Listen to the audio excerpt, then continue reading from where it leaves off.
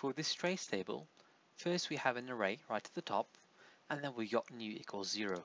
So once new is equal to 0, we need to put 0 in there. Then we need to go to the for loop for x in range from 0 to the length of the array. So we start in from 0. Then it says num is equal to number and then x. So numbers is the array, x is the index number. So the index number is 3. Then it says if num is greater than 3. So is this true? No, it's not true. So we go to the else because 3 is not greater than 3 says new is equal to new minus num. So new is 0 minus num 3. That would give us minus 3 because 0 minus 3 is minus 3. Then we go to x. x will increment by 1. Then we have num. So next num is equal to number x. So number x index 1 on in the array is number 4. If 4 is greater than 3, Yes, that's true. So we do new equals new plus num, which is 4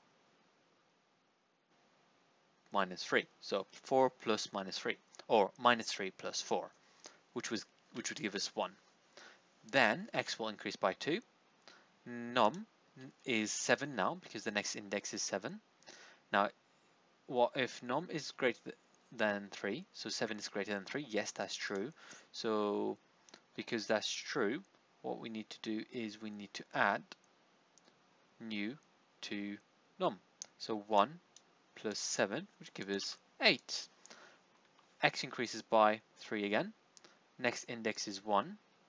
1 is 1 greater than 3? No.